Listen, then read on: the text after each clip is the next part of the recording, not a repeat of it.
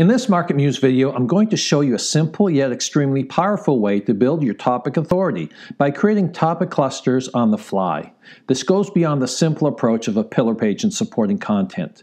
Here, you'll learn how to create thematically strong, topically rich, and highly interwoven structures. Kind of like the way neurons in your brain make their connections.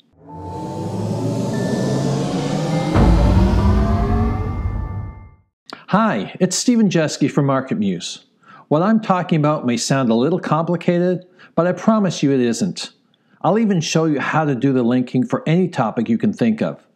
Now, there are only three components you really need to be concerned about. The current page that you're working on, pages to link out to, and the anchor text to use for the links. All three need to have a close semantic relationship in order for this to work. The best and quickest way to ensure that semantic relationship exists is through the use of a topic model. The topics in that model serve as candidates for anchor text, which makes sense. You're already covering these topics on your page, so they serve as the best connectors.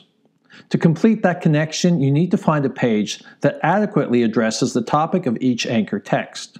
Remember that taking care of a cat example from the previous video? Litter box is a related topic that appears near the top of the list. So if you're talking about litter boxes in your article on cat care, it makes sense to link to your article on different litter boxes, assuming you have one. This is very good from both a search perspective and an audience one as well. Let's see how this works using MarketMuse Connect. Enter the topic that your page is about. Since we're not a cat blog, I'll use a different example. Press Run and MarketMuse uses its patented technology to analyze hundreds, even thousands of pages to create a topic model. It then analyzes the content on your site and suggests pages to link to that are about those related topics. MarketMuse returns up to 10 anchor text suggestions, each having up to 10 associated URLs. Because we talk a lot about content strategy and related topics on our blog, we have a lot to choose from. Let's look at the first example anchor text, content strategy. We've got 10 page suggestions to link to, all ideal candidates that have a close relationship to the anchor text, which comes from the topic model. I'll make an editorial decision and pick one URL to incorporate with the anchor text into my piece of content. Then I'll repeat that process with the next anchor text, in this case target audience, and its URL suggestions and so on.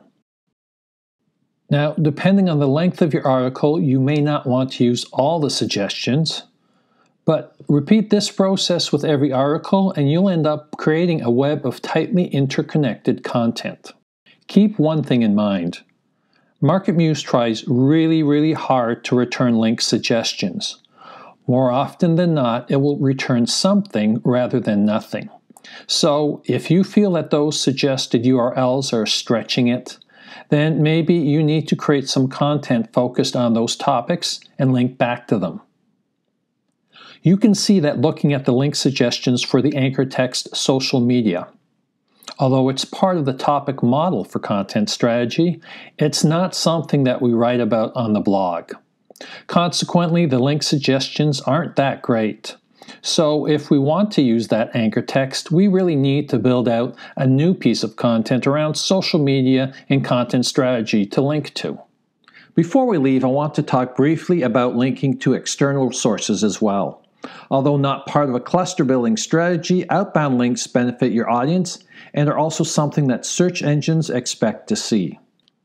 MarketMuse offers linking suggestions to high quality sites that deal with related topics that are tangential to the subject of your content. They're helpful to readers, make search engines happy, but avoid direct SERP competition. MarketMuse creates these suggestions using anchor text from topics that are low in relevance to the main focus topic. They're still relevant, just not as relevant as those for internal linking. In the next video, we'll look at how to ensure your content answers those important questions your audience is asking.